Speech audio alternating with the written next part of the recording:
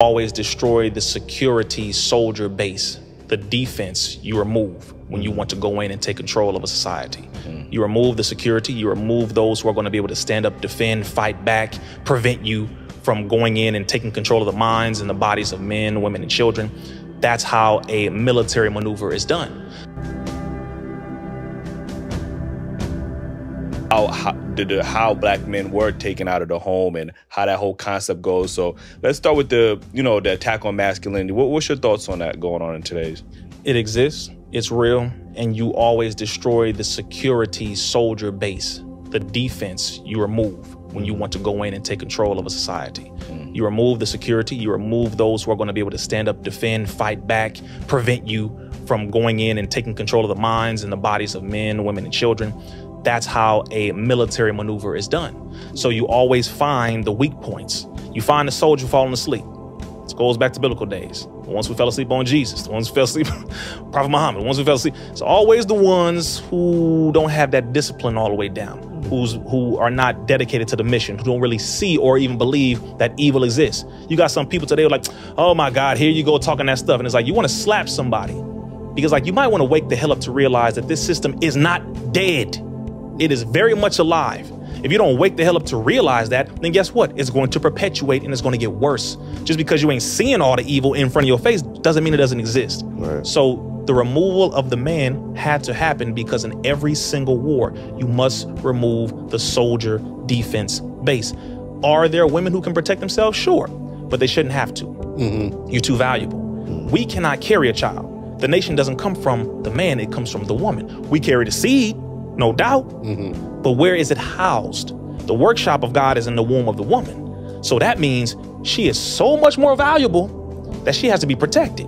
That womb got to be protected because the future of our existence is in her. Mm. Now, if that don't make you say, you know what, hold up, I need to take this a little more serious. She may be a little difficult to deal with every now and then. I get it, but but this is the future of our existence as a people, bro. Mm-hmm. You will never convince a Chinese man to attack his own women and generalize their own women. They will look at you like you're crazy because they know what it feels like to have a military move conducted on them mm. and aware of it and refuse to let it happen again. The Jews say never again. Why are we not saying never again? We're participating in our own destruction. So again, they had to remove the man from the home, remove the man from the culture, remove the man from God. Because if you fear God, you're not going to bow down to no system like this. There is no such thing as a system that can break me because I have a relationship with God. Every one of us that we get that connection to God, whatever you want to call it, him, her, the universe, whatever, whatever makes you comfortable, cool. But get that so that your fear can be removed from you so that you can stand up and change the condition. Because this system, again, is benefiting from us not having our stuff together on a defensive. That's my main thing that that I'm that I'm looking at. And again, you should you should really take note of what happens in other societies. Our sisters get attacked, we not fighting back. What are we doing? Yeah. No, seriously, bro. Yeah. Your black woman getting attacked, and you recording in 4K.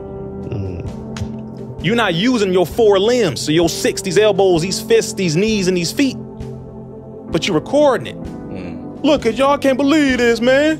World star, like well, man, like, bro, like, come on. Yeah, nah, that's a fact. Yeah. And then you want other people to respect us? Mm. Yeah, I'm not respecting nobody who disrespects themselves. I can't. I can't respect you as a people. Look at you. Yeah. You see what I'm saying? Again, and mind you, the enemy helped us to get to this condition. That's a fact but now we are perpetuating it. Right. That's my only. Now we got to hand it. I can't just point at the white man anymore. I, I can't just point at the system. We are smart enough to know. True. We we know this, bro. Like we know this. Right. You can't let somebody walk up in here and just do whatever they want to do. It can't be like that. But if enough videos go out where that happens and we don't do nothing about it, you know what that does to the mind? It lets the enemy know, oh, they don't give a damn about themselves. They don't care about their women. They don't care about their children. Why is it that I went to Texas a couple weeks ago when I spoke at an event, and then the week before that, I was in a, a documentary um, premiere. Bro, I got at least 12 Amber Alerts in one day in Dallas, Texas.